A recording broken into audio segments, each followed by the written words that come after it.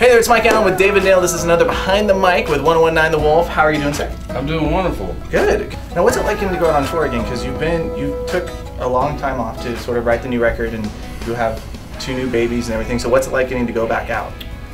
Well, it, it's it's weird, you know. Like I, when we when we had the babies, there was a while there where um, I literally thought like I was never going to be able to work again. Mm-hmm. Um, I can remember just, you know, every every thought revolves around them, and so you're just like, how in the world you have to have two eyes, two sets of eyes on two different kids.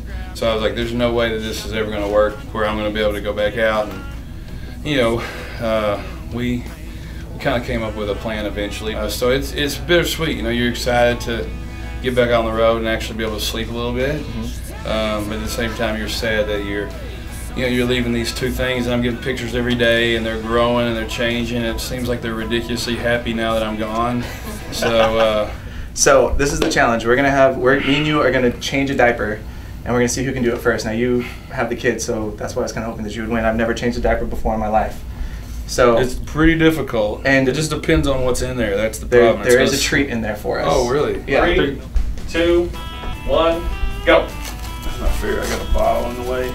Ooh. I told you it was gonna be a Hershey's Kiss. it was a Hershey's Kiss. Please do not flush. Okay, I just can't open it. Get away, dude. no, it was dry. well, fine then. There we go. I did this.